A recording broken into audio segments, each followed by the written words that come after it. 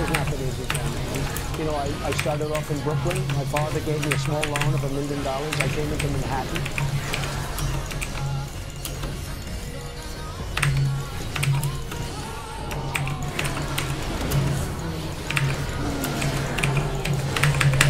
Oh my god, is this Dixie? Kappa.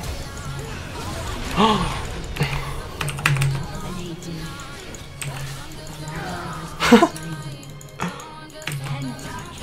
got him. Just kidding, this build actually owns.